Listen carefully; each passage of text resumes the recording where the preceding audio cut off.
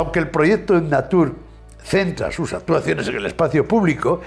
también se han realizado varias campañas divulgativas para mostrar a los empresarios los beneficios que tiene el incluir soluciones basadas en la naturaleza en sus parcelas, así como igualmente se les ha ofrecido desde el consorcio InNatur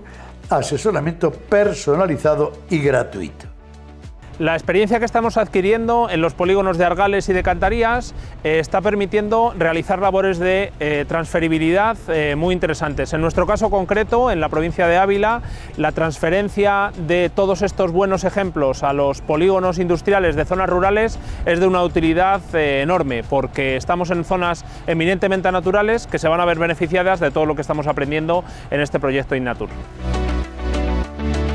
Pero, ¿cuál es el objetivo de creación de estos corredores verdes? Se demuestra la efectividad y la aplicabilidad de las soluciones basadas en la naturaleza para la mejora medioambiental de los polígonos industriales y las empresas.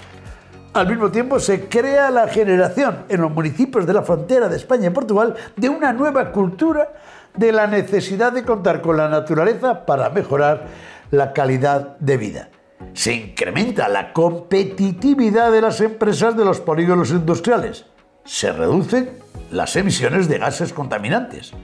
se mejora el rendimiento energético,